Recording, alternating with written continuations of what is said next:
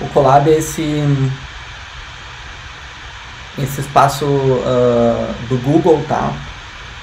A gente pode criar, gente, eles chamam de notebook, notebook em inglês é um, é um caderno, né? Então tu cria um novo notebook e é tipo um Google Docs da vida, tá? Aqui você pode dar um nome, tá? Aula 1, né? E aqui vocês daí fazem, uh, aparece uma, um cursor e uma célula, vocês podem escrever código em Python daí aqui, tá? Eu acho que, eu não sei se está grande o suficiente, vocês talvez precisem de uma, uma letra maior aqui, não sei. Tá. Conseguem ver o que eu escrevo aqui? Ou lá, né? Isso aqui imprimiu lá na tela. Me digam se conseguem ver isso que eu imprimi aqui. Tem que ver o que vocês estão falando. Então a ideia aqui é que uh, existem essas células, tá? Assim, rapidamente sobre o, os, o, o, o Colab, tá? Isso aqui, isso aqui é uma célula, então quando eu apertei aqui o play, que é essa, essa setinha aqui, uh, ele rodou o código, ele alocou uma quantidade de RAM espaço em disco lá num, computador no Google, tá? E é um computador que tem bastante memória RAM, tem GPU, tá? Né? E daí uh, vocês podem adicionar novas células de código, né? Então se eu disser aqui a... Ah, e outra coisa, deixa eu voltar aqui. Esse print olá e apareceu um, esse, esse número 1 ali, tá? Aqui, enfim, difícil mostrar, né? Esse número 1 ali significa que foi a primeira linha de código que foi executada, né? Então, isso é importante para vocês verem a ordem. Por exemplo, se eu disser assim, A igual a 2. Aí eu digo print A. Uh, primeiro, se eu não executar essa linha de código, ele ainda aparece o 1, mas aparece o 1 do print do print olá que eu tinha feito antes, né? Agora esse A igual a 2 eu não executei ainda. Se eu vier aqui, e aqui não tem número, nesse de baixo não tem um número ainda, né? Se eu vier aqui e der um print A, ele vai dar um erro. Porque o A não foi definido. Eu tenho que executar esse, e esse vai ser agora o 2, tá vendo aqui, ó, 2. É a segunda linha de código. Então eu tenho que executar essa aqui primeiro, agora vai ser a 3. E daí eu posso ter o print A, que vai ser a quarta. E essa ordem, se vocês não executarem na ordem, ele vai manter o contexto da ordem que vocês executaram, tá? Eu posso ter uma nova célula aqui embaixo que eu vou ter A igual a 100. Eu posso executar essa primeiro, depois executar essa aqui, e daí o A vai ser 100, tá? Por que, que eu falo isso? Que é muito comum quem está começando um collab, daí muda uma coisa esquece de executar a célula, e daí ou dá um erro ou aparece um resultado que não faz sentido, né? Tentem sempre executar na ordem. Um truque, uma truque não, uma uma dica que eu dou para vocês é tentar vir aqui e rodar todas, né? Que é Ctrl F9. Aí ele roda na ordem, né? Do início ao fim. Vocês também podem colocar uh, hipertexto, tá? Então dá para colocar aqui uh, um título uh, palavras e, e, listas também, né? Enfim. E daí ele fica documentando o código. Então, entre uma célula e outra, vocês colocam, podem colocar alguma explicação, anotações, etc. Tá? Esse esse é o ambiente que a gente vai usar daí para a maioria da, da, das nossas aplicações, porque aqui a gente tem um computador com um computador bom, mesmo que vocês, o computador de vocês não tenha muita capacidade, né? Lá no Colab a gente tem computadores com capacidade suficiente para treinar as redes neurais e tal, né? Então para nós é bastante útil isso aí. Ainda mais agora que o pessoal está em casa também. Aí eu não sei que, que acesso a que que vocês têm, né? Que tipo de uh, máquina vocês têm em casa e tal. Tá? Vocês também podem instalar, quem quiser, uh, eu recomendo o Anaconda daí. Anaconda, vou escrever aqui só para o pessoal entender, entender o que eu estou falando. É, Anaconda. Anaconda. Anaconda é um, é um é um, é um, um são pacotes de, de ferramentas de Python, né? Inclui, que inclui o Jupyter, que é esse esse ambiente é uma versão do Jupyter do Google, né? Mas é, existe o Jupyter do que vem no Anaconda também, que é algo parecido com isso aqui. Deixa eu abrir aqui para vocês. Uh, Jupyter Jupyter Notebook. E aqui eu estou rodando daí local. Eu posso rodar aqui local Tá? Então aqui eu abri, é parecido com o ambiente do, do Google, tá? Ele também roda no navegador, ele também tem células, é igual, né? A mesma ideia, tá? Só que ele está rodando daí aqui no meu computador. Se eu rodar uma linha de código aqui, ele está rodando no processador desse computador que eu estou aqui, não é remoto. Tá? Apesar de ser um navegador, é um navegador aqui num servidor local, tá? Então vocês também podem ter o Jupyter, se quem tem dificuldade de acesso à internet tal, pode instalar o Anaconda daí, tá? Só que se vocês tiverem o Jupyter, por enquanto, né, eu acho que ainda essa semana, um pedaço da outra, a gente vai trabalhar bastante com NumPy e com Matplotlib, que são pacotes bem comuns. Mas daqui a pouco a gente vai estar usando TensorFlow, Keras, um, enfim, vários outros pacotes que talvez sejam mais complicadinhos de instalar, tá? Eu acho que a Anaconda tem TensorFlow também junto, então se alguém sabe, confirma para mim, tá? Mas eu acho que uh, vocês con conseguem, através do Anaconda, instalar TensorFlow, uh, Pandas também, né? Pandas, etc, tá? Mas uh, aí, à medida que a gente vai avançando, eu vou dando dicas para vocês de como fazer isso, tá? Aí às vezes eu peço para vocês entregarem o código, né? É, se vocês entregarem o. Ele salva como um pai IPYNB, né? A extensão. IPython Notebook, uma coisa assim. Que é, uma, é, é um legado histórico de quando o Jupyter tinha um outro nome, né? É aqui, ó. Download, download a IPYNB. Tá? É isso aí que eu quero que vocês entreguem daí ele vem formatado para mim. E, e, daí eu posso ver as anotações de vocês, se vocês quiserem colocar anotações também, tá? Então, pessoal, vamos, ah, assim, só para encerrar, antes de encerrar, eu queria fazer um exercício com vocês daí sobre o SimBrain, tá? Vamos tentar fazer o exercício do SimBrain, ver se a gente consegue fazer ele online. Eu vou mostrar aqui o que é o SimBrain simbrain.net, tá? É o é o site. Vocês vêm aqui download, tá?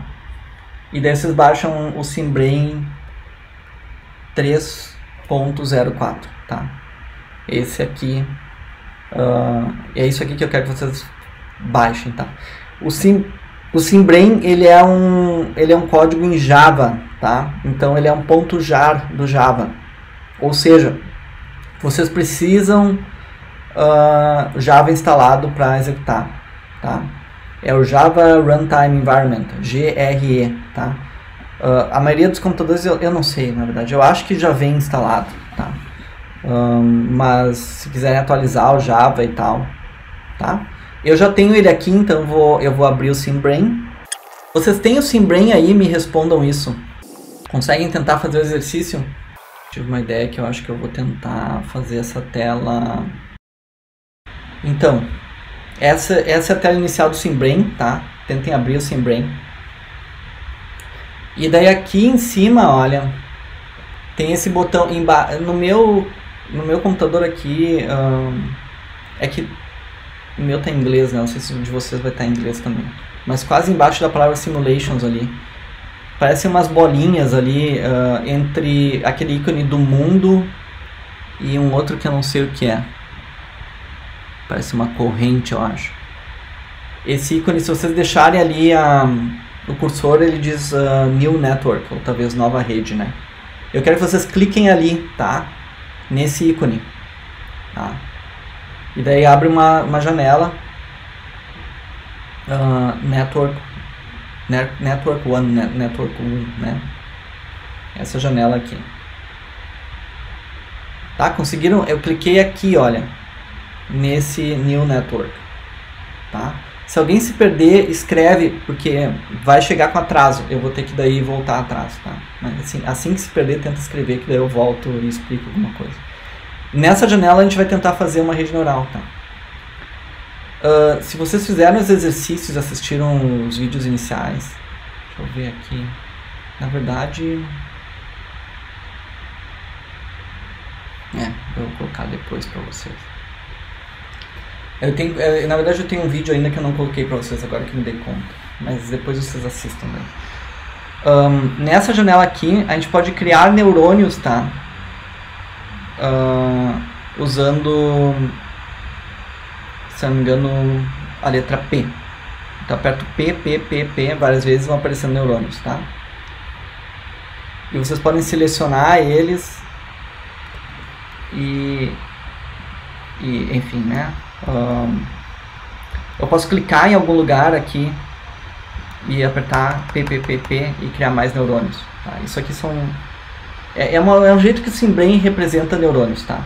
Esse essa bolinha no meio é um zero, no meio do, do ah, o neurônio é um círculo, né? No meio a gente tem um zero que é representa a ativação do neurônio, tá? Então ali a gente tem a ativação uh, do neurônio. Esses esses neurônios então estão com ativação zero. A ativação é a saída do neurônio, né? né? Se tu pensar no neurônio como uma função, ele recebe entradas e vai produzir uma saída. Ele recebe potencialmente várias entradas, mas ele, cada neurônio vai ter só uma saída, tá? Para a gente fazer conexões entre os neurônios, se eu tenho dois neurônios, por exemplo, eu seleciono um neurônio, eu aperto o número 1 no meu teclado, ele fica com esse retângulo vermelho ali em volta, um quadrado vermelho, né?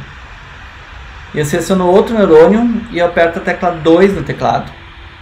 E tu vê que ele ficou agora com uma conexão. Tá?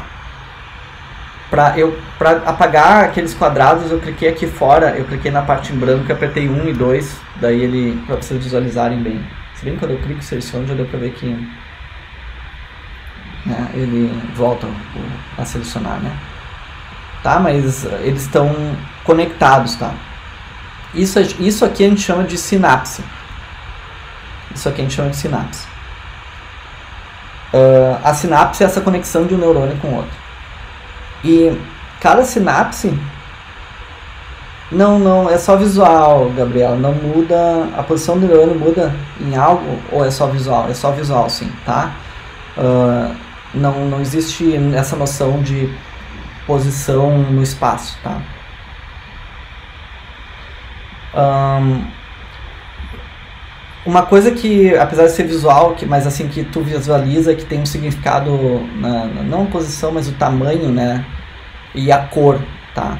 Então, por exemplo, esse, esse, essa bolinha vermelha aqui, ela indica que desse neurônio aqui, esse que eu, que eu selecionei agora, esse que não tem a bolinha vermelha, né? Esse neurônio, a saída desse neurônio, ou seja, a ativação que eu estou vendo que é zero aqui, né?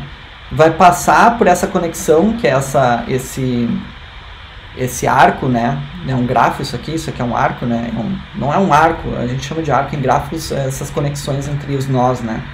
Então desse nó aqui, que tem essa saída que é o zero, passa uma conexão que vai chegar nesse neurônio aqui, nesse outro neurônio, mas antes dela ser, dela ser integrada nesse neurônio, vai haver uma multiplicação. Então, esse vermelho aqui é um peso.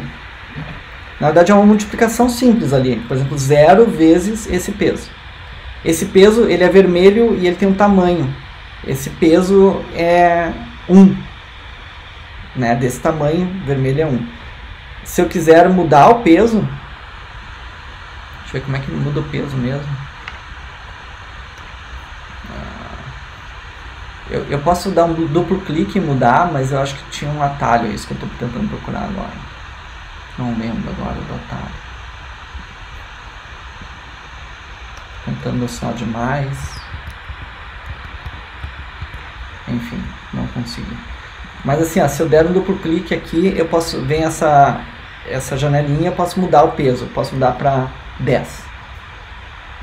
Aí, olha como a bolinha cresceu, tá? Quer dizer que esse número aqui desse neurônio vai ser multiplicado por 10 para chegar nesse neurônio aqui, tá? Essa é a ideia. Se eu tiver um número negativo, aí a bolinha muda de cor para azul. Okay? Então aqui é um peso de menos 1. E menos 10, daí obviamente vai ficar um número mais negativo. Tá? Uh, a gente pode também, eu vou deixar um aqui para não ficar muito estranho. Tá. A gente pode também criar conexões com vários neurônios, tá? A ideia é que uma rede neural ela vai ter vários neurônios se conectando uns aos outros, tá? Então, eu vou criar dois neurônios, três neurônios, tá? Então eu quero que esses dois neurônios sejam a entrada e que esse neurônio aqui receba os dois valores desses dois neurônios. Então seleciono esses dois neurônios, os dois juntos, aperto 1, um, eu seleciono esse aqui e aperto 2. E daí eu criei duas conexões, né, vindo desses cada, cada conexão de um neurônio desses para aquele lá, né? E cada um tem seu peso daí. Esse aqui tem o peso 1, eu posso ter um peso diferente. Esse aqui pode ser menos 1 e aquele lá 1, tá? Então isso aqui já começou a formar uma rede, tá? E eu posso fazer isso em cascata, né? Eu posso também desse neurônio, que eh, apesar que ele só tem uma saída, eu posso repetir a saída para vários neurônios, né? Então eu posso daqui essa saída copiar para cá e para cá. Eu fiz um por um, tá? Mas também poderia ter, deixa eu apagar e fazer de novo. Eu poderia ter selecionado esses dois e apertar o 2, daí esses são os destinos, né? E olha a direção, né, na representação do Simbrain, né, é assim, né? Então começa da esquerda para a direita aqui. Porque eu por causa da forma que eu coloquei os neurônios, né? Se colocar esses aqui em cima e esses aqui embaixo, aí é de, de cima para baixo, né? Mas eu digo a direção, vocês entendem pelas bolinhas ali, aquelas bolinhas coloridas, tá? Porque o peso fica grudado no neurônio que recebe, então tu sabe de que lado para que lado está indo a conexão. Tá? Se eu quiser mudar a ativação de um neurônio, eu também posso mudar como eu mudo o peso, que é activation, tá? Eu posso botar aqui 10, por exemplo. Tá? Ou aqui no meu caso eu vou botar 1, porque depois, eu não quero ter que explicar umas coisas antes do tempo, então eu vou colocar 1, tá? Uh, então essa é ativação do neurônio. Para rodar a rede neural, tá? Aí ali em cima eu tenho esse botão, eu tenho play e eu tenho esse outro que é, é tipo um. É o play com uma barrinha extra, né? Ele vai andar um passo. Ele vai dar um passo só. Tá?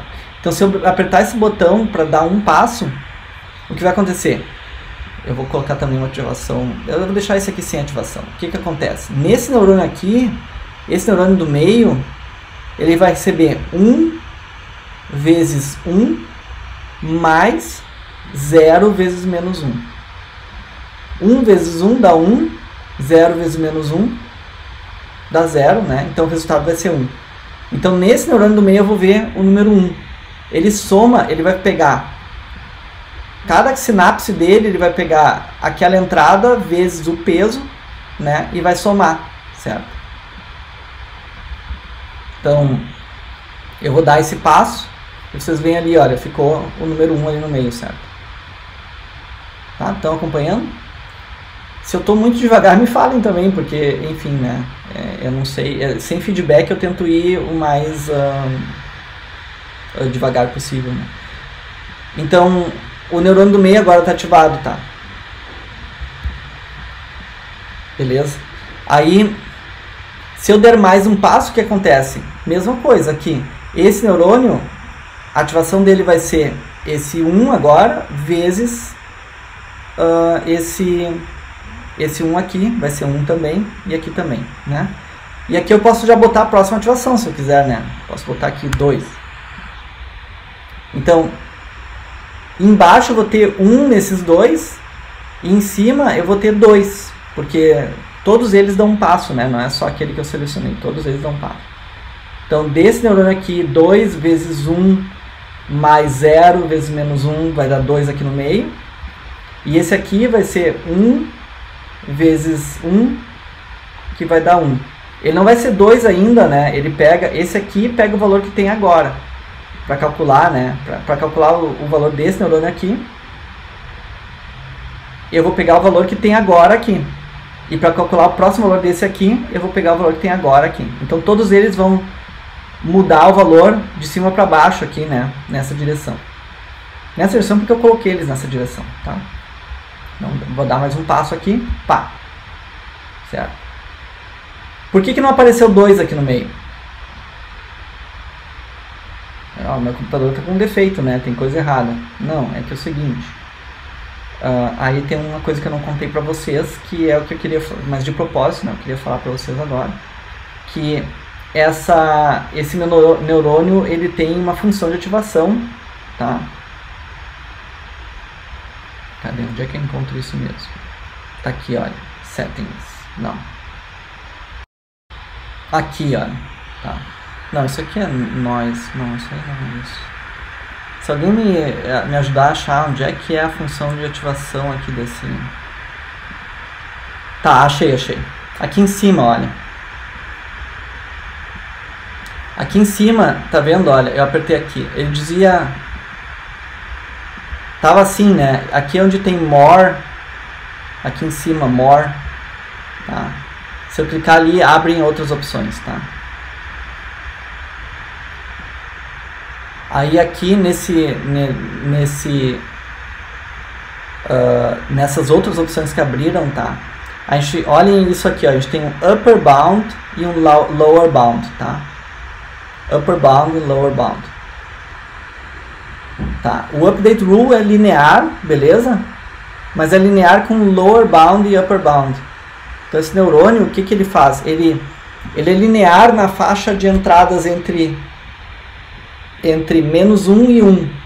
Naquela faixa de, entradas ele vai só copiar a entrada para a saída.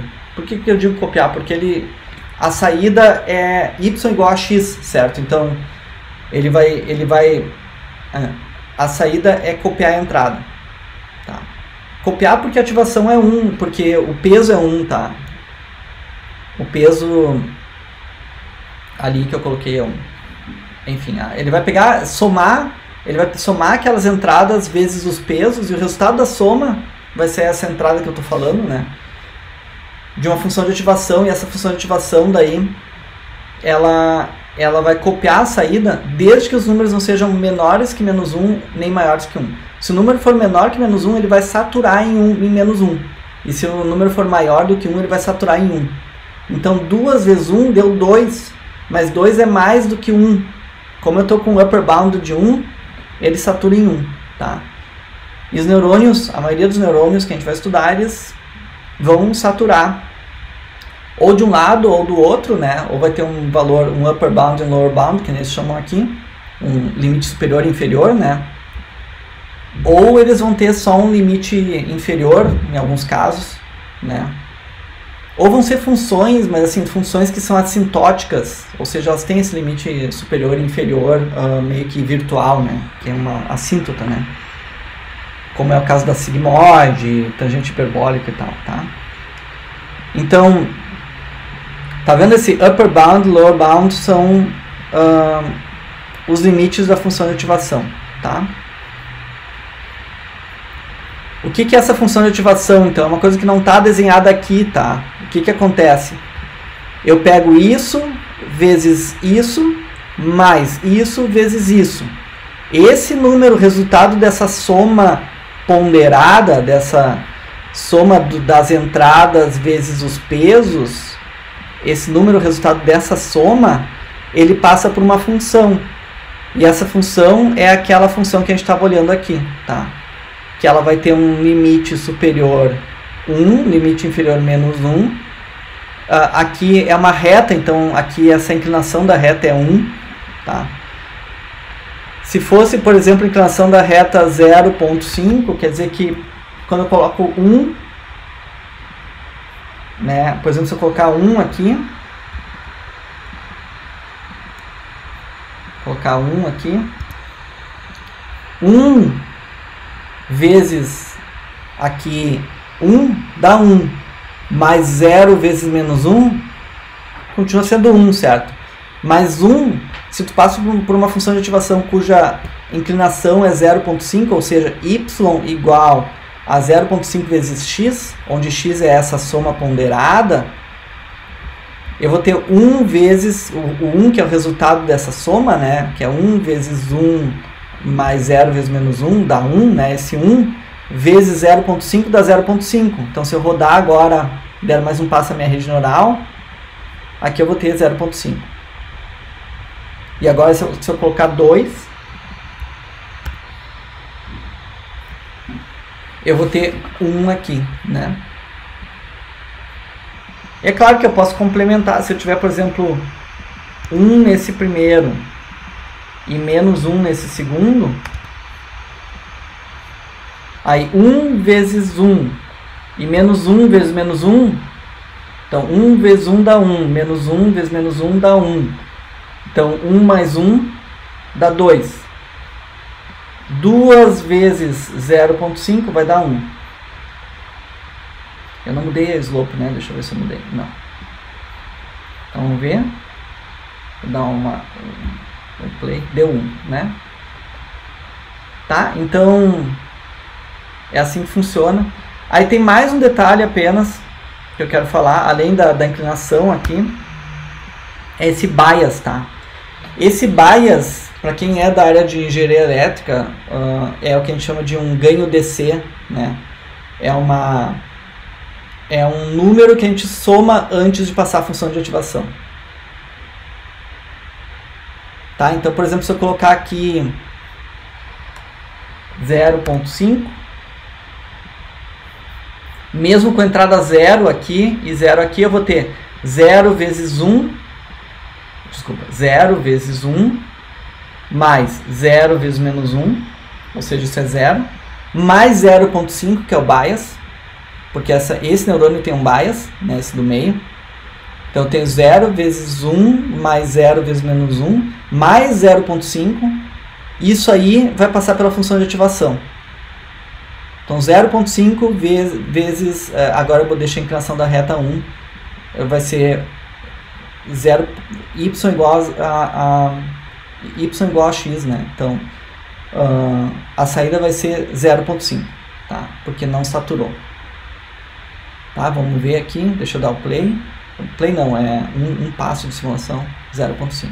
Estão vendo? Mesmo tendo entrada 0 aqui e 0 aqui, eu tenho aqui nesse neurônio um bias, que é como se fosse uma outra entrada fixa. Tá? Essa não tem uh, nenhum tipo de essa entrada fixa não, não tem um peso, né? Ela é a própria, já é o valor, né? Tá? Então, isso é um neurônio uh, no SimBrain. Outra coisa, quando eu rodar a simulação, se eu quiser rodar ela e deixar fixo aqui esses valores, eu posso vir aqui no neurônio e dizer que ele vai ser clamped. Põe aqui yes. Tá? Aqui também. Esse neurônio eu posso dizer que é clamped. Põe o yes. Quando o neurônio é clamped, quer dizer que o valor dele não vai mudar. Então eu posso botar aqui 1 e aqui menos 1, por exemplo. Então aqui eu tenho 1 e aqui eu tenho menos 1. E eu posso rodar e rodar a minha simulação e ele não zera mais, né? Lembra que ele estava zerando antes? É que ele não está recalculando o valor dele, ele ficou fixo no valor que eu digitei. Isso é bom para a gente fazer uma entrada fixa e testar coisas, tá? Beleza? Estão acompanhando? Então, deixa eu ver aqui no script da aula, onde é que está.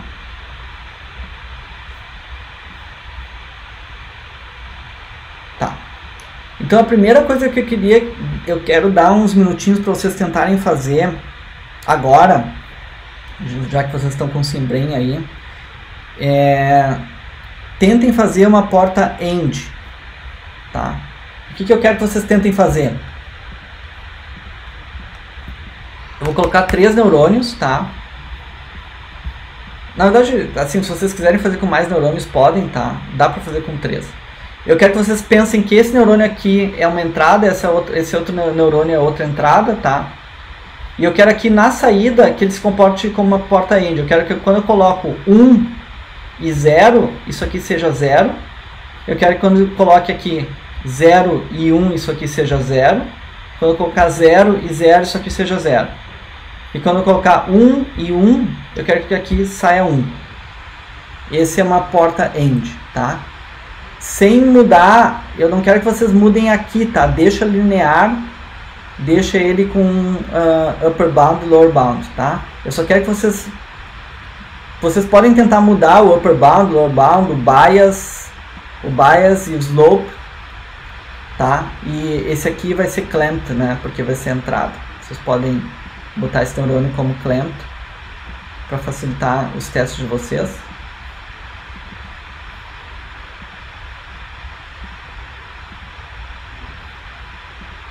tá? Tentem resolver esse exercício aí. Tentem fazer uma porta end. Aí, quando, quando concluírem, uh, me falem uh, aqui no, no chat, quem conseguiu. Quem tiver alguma dúvida também uh, me fala no chat, tá? se teve alguma dúvida, tá? Eu vou, eu vou dar, deixa eu ver, Vamos combinar até 11 11 25 tentem fazer uma porta end. Vamos, vamos, eu já vou dar assim ó tenta fazer a porta end a porta or e a porta not tá? Até as 11 vamos fazer até os 11 25 porque eu tenho um outro exercício que eu quero dar ainda para vocês. Uh, a gente vai encerrar pouco antes do meio dia tá? Essa aula. Tá então tentem fazer a porta end porta or e porta not tá eu vou, enquanto vocês vão fazendo, eu vou abrir no Moodle um link para entrega desse exercício, para eu poder ver aqui também o que vocês fizeram, tá? Então, porta AND, porta OR e porta NOT. A ideia é isso aqui. Só que a porta NOT vai ter só dois, né? Daí, é tipo, entra ali, entra só esses dois daí, né? Deixa eu apagar esse aqui. Na porta NOT eu quero que entre um e saia zero, ou entre zero e saia um tá? E a porta OR, né? A porta OR vai ser tem duas entradas daí.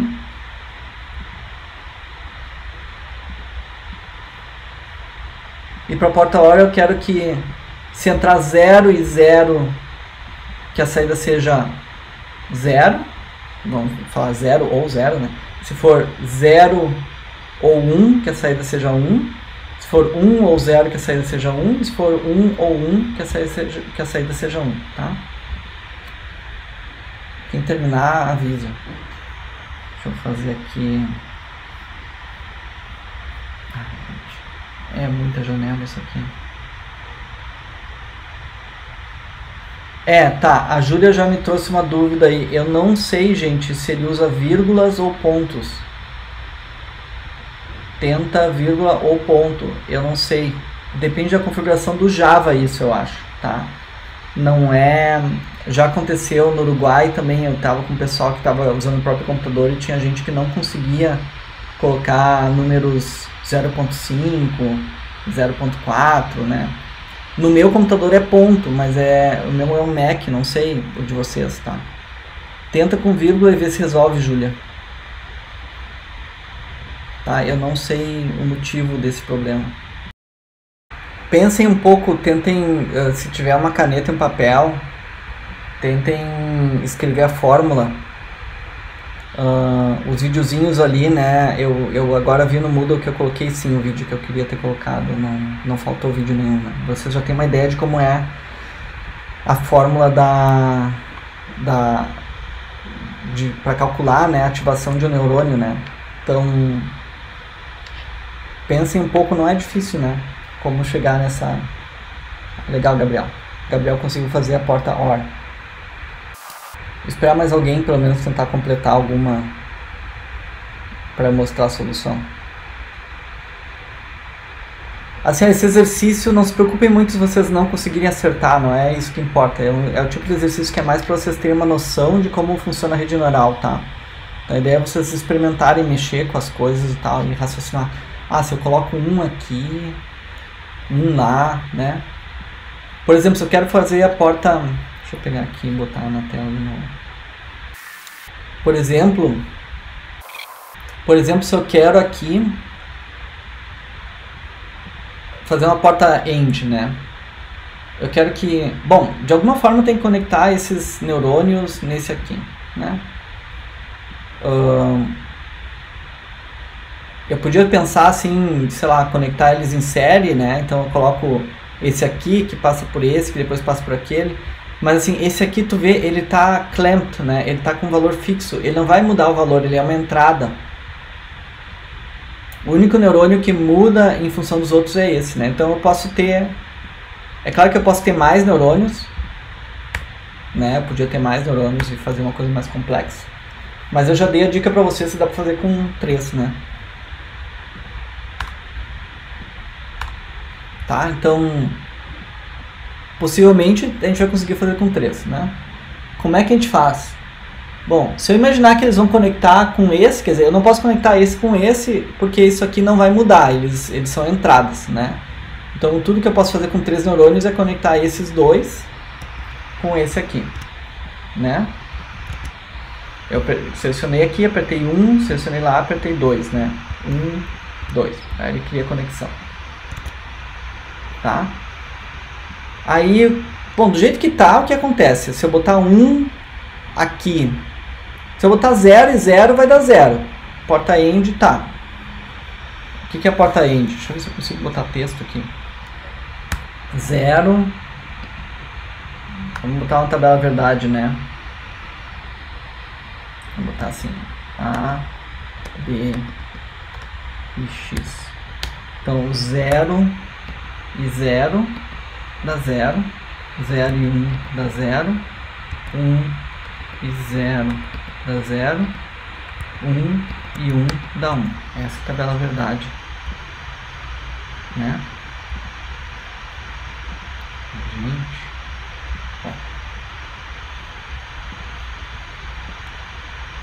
Então é isso aqui que eu estou querendo fazer, né? Zero, olha só. Zero vezes um mais zero vezes um dá zero. Então essa linha está certa, né? A primeira linha aqui está certa. Agora, 0 vezes 1 um mais 1 um vezes 1 um dá 1. Um. Não tá legal, né? Eu, eu queria que desse 0. Como é que eu faço para aparecer 0 aqui se é 1? Um? Quer dizer, eu tenho uma fórmula que é basicamente isso vezes isso, mais isso vezes isso, mais o bias, lembra que tem o bias, né? Aí, o resultado disso tudo eu passo por uma função de ativação que ela satura em dois valores que eu posso mudar também, tá? Ora, se satura em um, eu acho que é um bom, é um bom negócio, porque daí a gente a gente deixando saturar em um, a gente nunca vai passar de um, né? Então, se o resultado for 2, for 3, for 10, for 1000, eu consigo que a saída seja 1. Então só preciso, eu só preciso que o resultado seja alto para esse último caso aqui, que é quando eu tenho 1, 1 e 1. Eu tenho 1 e 1 de entrada e eu quero que a saída seja 1. Todos os outros eu quero que seja 0. Se eu mudar, por exemplo, a minha saturação aqui, a saturação de baixo, né? O, o lower bound, ao invés de menos 1, se eu botar 0 aqui, Se eu botar zero aqui, quer dizer que nenhum número, nenhum resultado vai ser menor que zero. Vocês concordam? O que acontece? Se eu botar se eu botar menos 1 ou menos 100 ou menos, menos 1000, não interessa. Ou zero, né? A série vai ser sempre zero. O que me permite, por exemplo, subtrair. Eu faço Eu posso botar um bias menos 1, por exemplo. O que acontece daí? 0, aqui ó, 0 vezes 1 mais 0 vezes 1, 0 vezes 1 mais 0 vezes 1 dá, dá o quê? Dá 0, certo? Desculpa, 0 vezes 1 mais 0 vezes 1 mais o bias, que é menos 1, né? Então, 0 vezes 1 mais 0 vezes 1 menos 1 dá menos 1. Só que aqui eu tenho um lower boundary, né? Lembra aqui, olha, eu botei um lower bound de 0. Então, esse menos 1 vira 0. Tá? Aí que está o truque. A gente daí está fazendo é a soma disso vezes isso, mais isso vezes isso, mais o bias, que é menos 1. Ou seja, esse aqui que seria menos 1 aqui, né? Ele vira 0, porque nada pode ser menor que 0. Aí 0 e 1 vai ser 0 vezes 1 mais 1 vezes 1 dá 1, menos 1 dá 0 também. E aqui é a mesma coisa, né? 1 vezes 1 mais 0 vezes 1 dá 1, menos 1 dá 0 também. Quando for os dois 1, dá 1 e 1. Então 1 vezes 1 mais 1 vezes 1 dá 2, menos 1 dá 1. E a gente resolveu o problema, né? Essa é a porta end. Então vamos testar aqui. Na verdade eu posso dar o play aqui, deixar ele rodando. E daí enquanto ele está rodando, se eu botar aqui, aqui eu botar 1,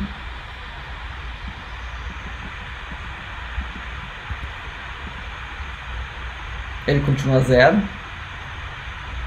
Agora se os dois forem 1, um, e dá um warning ali porque eu estou rodando, eu estou mudando quando estou rodando. Aí ele dá 1, um, 1 um e 1 um dá 1, um, que é o último caso ali. E se eu tiver... Qual que eu tinha mudado de cima, né? Agora não lembro. Se eu botar esse aqui... Zero. Mas zero. Esse aqui. Zero. A zero. Enfim, né? Isso aí é a porta end.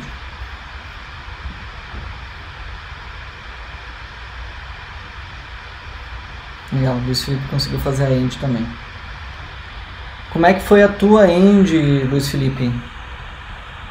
A tua foi muito diferente da minha?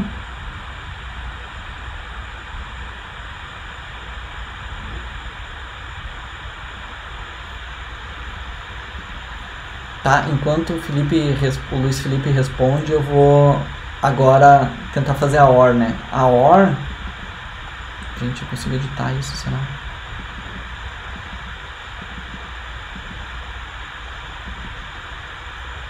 Assim, a OR vai ser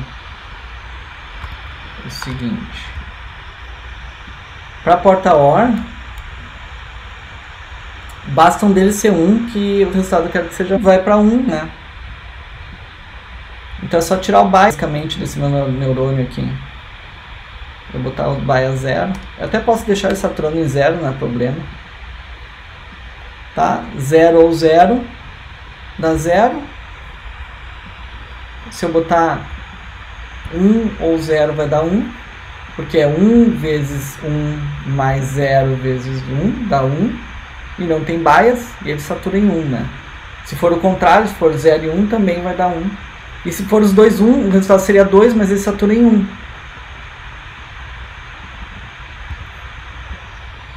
Né? Também funciona. Tá? Essa é a porta OR. E a NOT, quem é que fez a NOT? Vamos a verdade da nota aqui. A ideia da nota é que a gente só tem uma entrada e uma saída, né?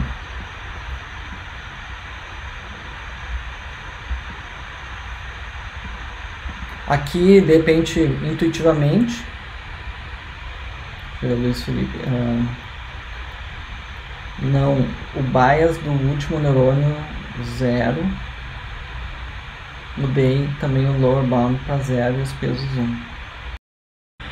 Tá, depois eu vou ler como é que tu fez. Uh, de repente, depois tu entrega, Luiz Felipe, vocês podem assim, olha, deixa eu mostrar aqui. vocês podem vir aqui. Calma, deixa eu parar a simulação. Aqui nessa janela interna, vocês podem uh, salvar a rede, vai salvar um XML e daí vocês podem mandar. Depois junta tudo, né, num zip e manda no Moodle um arquivo zip, né, um arquivo zipado, tá? Mas vamos ver aqui, olha, para fazer a note, eu posso botar o, o peso menos um, eu acho, né? Porque a minha intuição é que o que sai aqui tem que ser o contrário lá, né? E então, por exemplo, se eu colocar aqui zero, zero vezes menos um, deixa eu dar um play aqui, dá zero, né? E se eu botar um, um vezes menos um,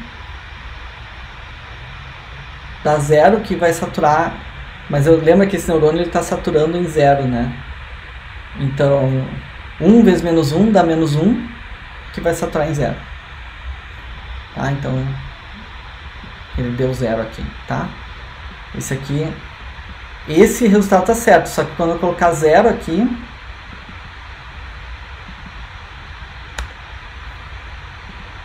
o problema é que quando eu colocar zero aqui, ele tá dando zero também. A gente pode mexer no bias de repente, né? Vamos botar 1 de bias, o que que acontece? 0 vezes menos 1 dá 0, mais 1 dá 1. 1 vezes menos 1 dá menos 1, mais 1 dá 0. Estão entendendo? Então vamos tentar aqui primeiro 0, deu 1. E aqui 1, deu 0. Certo? Essa seria a porta NOT daí tá? Vamos seguir. A gente já está quase encerrando, tá? Quase encerrando. Uh, o exercício agora é o seguinte. Vocês vêm aqui em File e Open World, tá? Uh, ou arquivo, abrir mundo, não sei se vai estar em português de vocês, tá? E vem aqui em Other World, Other World, tá? Aí vocês navegam nos mundos aqui. Uh, a, a, pasta dentro do, da pasta do. Eu acho que ele já vai colocar vocês já na pasta correta, tá? Um, cadê? Eu acho que é esse One Object aqui, tá? Deixa eu tentar. É isso. Então eu abri esse oneobject.xml, tá? oneobject.xml. Então como é que eu cheguei lá? De novo, File, Open World, Other World, e daí vocês navegam para subpasta Worlds, tá? Ali seleciona One Object, tá? E daí vocês vão chegar nessa janela aqui, onde tem um ratinho e um queijo tá? Uh, tentem chegar nessa nesse oneobject.xml. Se não conseguirem, me escrevam aqui no chat, eu vou seguindo aqui. Vocês podem arrastar o ratinho, arrastar o queijo também, tá? Uh, nesse ambiente, o que a gente tem aqui, vocês estão vendo que esse ratinho ele tem três pontinhos brancos aqui. Esses pontinhos brancos são sensores, tá? É como se o ratinho, assim, ele, ele, ele tivesse, assim... É, vocês podem imaginar que o ratinho, ele dá uma cheiradinha, ele cheira para frente, ele cheira para esquerda e cheira para direita. Então ele dá três uh, cheiradas, assim, e ele vai se guiando pelos cheiros que ele encontra quando ele cheira à esquerda, à direita e para frente. Isso aí são entradas isso aí simula uma espécie de olfato do rato, tá? Ou tu pode imaginar que o rato é uma espécie de robô que tem três sensores de gases, três sensores nasais, assim, né? Ou ainda tu pode pensar, bom, pode pensar o que tu quiser. Tem três entradas, é isso que importa, tá? São três entradas que são esses três pontinhos, tá? E o, o cheiro vem do queijo. O queijo ele tem um cheiro que ele se dispersa. Ele, ele, ele é forte quando, quando o sensor está perto do queijo e à medida que tu se distancia do queijo, esse cheiro ele começa a atenuar, tá? Então, o cheiro do queijo ativa o sensor do rato. E quanto mais próximo o sensor tiver do queijo, mais forte essa entrada, tá? Que a gente vai, vocês já devem estar adivinhando, né? A gente vai construir uma rede neural daí em cima disso, tá? Então, o que, que vai acontecer? Claro que os sensores estão em posições diferentes, então um sensor vai ter uma leitura diferente de outro conforme a posição do rato em relação ao queijo, né? Tá? Então, agora a gente vai começar para a gente poder ver isso na prática, tá? Eu vou dar um duplo clique no queijo e daí aqui eu vou em smell, tá? Em smell eu vou dizer que o queijo vai ter aqui é a dimensão do estímulo, tá? Cada queijo, a gente podia ter vários tipos de queijos e de flores e coisas assim que essa simulação permite, onde ele não é uma dimensão, é um vetor que tem várias dimensões e cada aí é um vetor onde cada componente do vetor vai ter um valor que é tipo a assinatura daquele, a impressão digital, digamos, daquele queijo, é, é o cheiro do queijo. Cada queijo teria daí um, um cheiro específico dele, né? Que seriam várias dimensões. Aqui ele mostra oito dimensões tá? Mas vamos supor então uma coisa mais simples, tá? É um queijo que só tem uma dimensão, tá? Ele só tem uma dimensão, vetor de uma dimensão. É um vetor ainda, mas só tem uma dimensão. E eu vou botar o, o cheiro dele vai ser 1. Um, tá? Então esse é o estímulo, é o estímulo, é o cheiro do queijo, tá? Aí, tá, beleza. Isso aqui é o queijo, isso aqui é o rato. Aí agora, deixa eu ver até no ratos tem o sensor, né? O sensor, o rato, se vocês dão um duplo clique lá no rato, ele tem um nome, não sei o que, mas ele tem assim, sensores. Sensor 1 é o smell left, tem sensor 2, smell center, e sensor 3, smell right, tá? São os cheiros que ele sente. Beleza? Ok.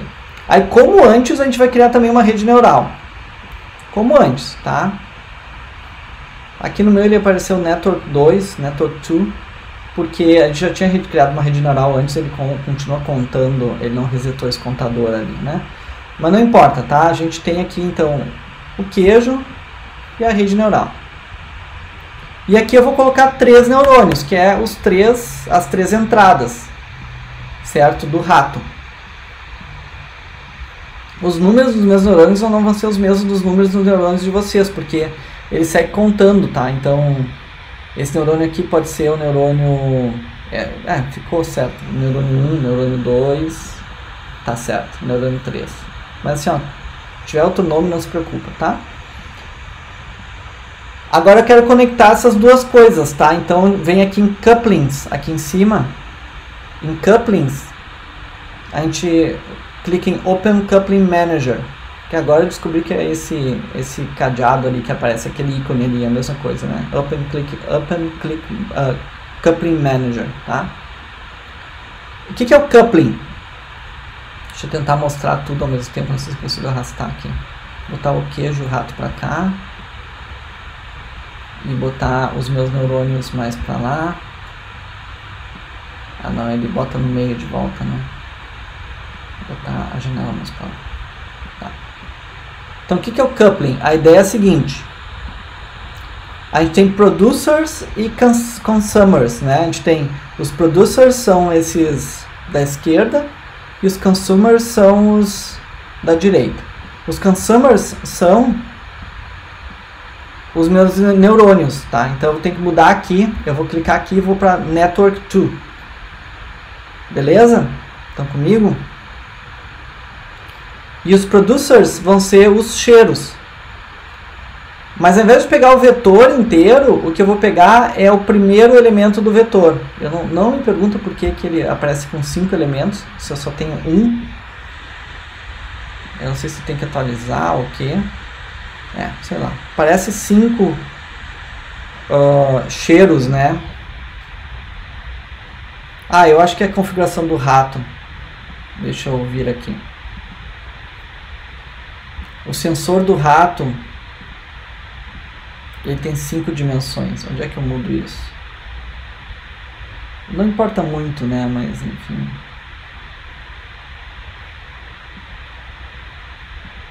Acho que eu tenho que clicar aqui.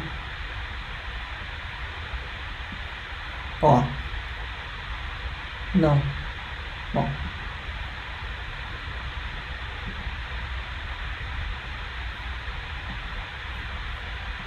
Eu achei que eu teria como mudar aqui.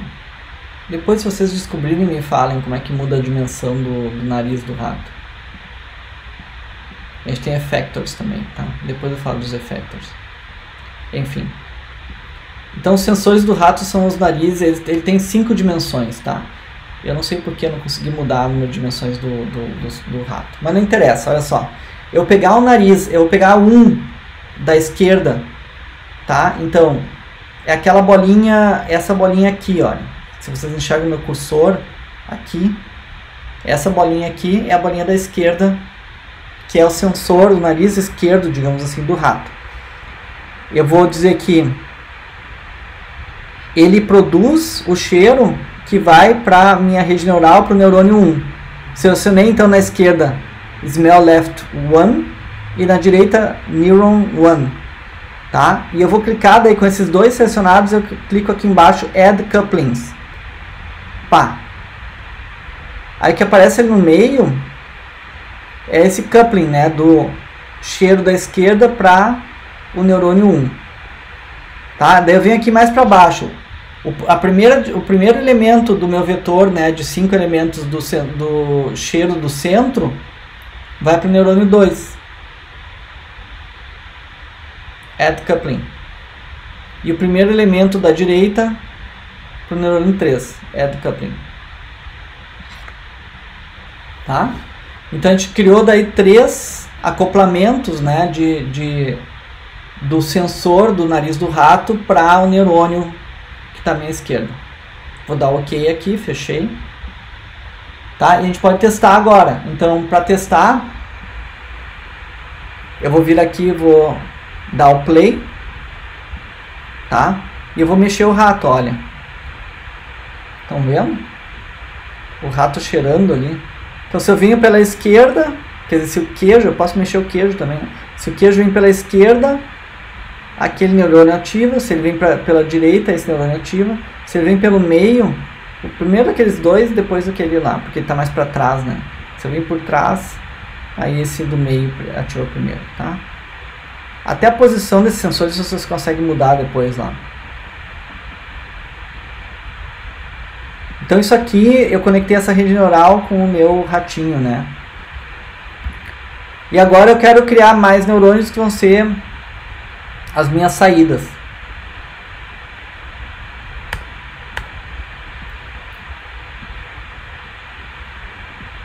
Eu vou botar três saídas também. Três saídas. E essas saídas vão ser Deixa eu parar a simulação. As saídas vão ser o seguinte, vão ser... Uh, deixa eu voltar lá no meu rato antes. O rato ele tem effectors, né? Os effectors são vai para frente, dobra a esquerda e dobra a direita. Ou seja, quando eu vou go left, go right, ele só vai ficar girando no lugar. Se eu tiver go straight, ele vai reto. Se eu tiver o go left misturado com go straight, ele vai fazer tipo um arco à esquerda, né? E assim a gente vai fazer o ratinho se mexer, tá? Então a gente vai fazer o coupling desses, de, desses o motorzinho do rato, digamos, as perninhas do rato, né? Com esses neurônios, tá? E esse aqui é o neurônio 4, só conferindo, né? Neurônio 5 e neurônio 6, tá? Então eu vou pegar agora nessa ordem também.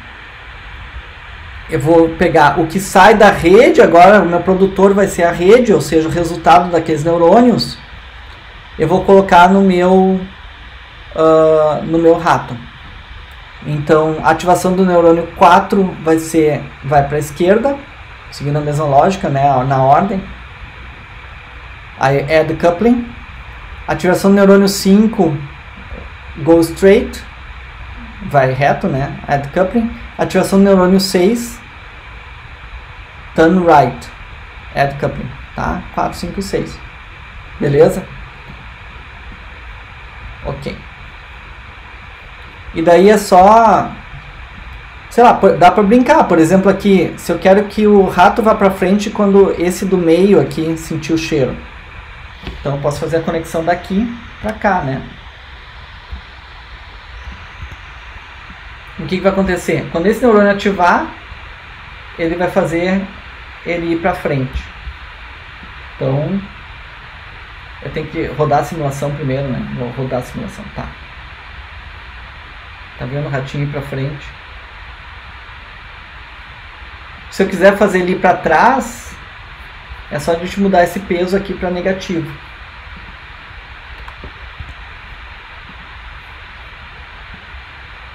Deixa eu botar a simulação para rodar também. Né?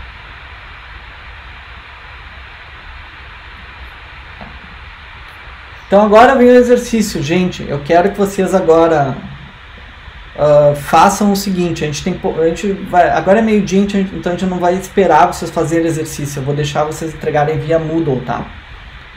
Mas o exercício é o seguinte. Eu quero que vocês façam o rato ir atrás do queijo, que o rato vai em direção ao queijo, tá? Um, para isso, vocês podem também mudar a dispersão do cheiro do queijo, tá? O cheiro do queijo tem que estar tá muito próximo do rato para o rato sentir. Vocês podem mudar aqui uh, a dispersão para fazer o, o, o, rato sentir o, o, cheiro mais de longe, assim, né? O cheiro também pode ser um valor mais alto, aqui tá 1, um, pode ser 1000, enfim, né? Tá? O exercício é esse, eu quero que vocês peguem no SimBrain, façam o rato ir atrás do queijo. Tá? Esse é o exercício. Tá? Deixa eu ver o que eu tinha anotado aqui.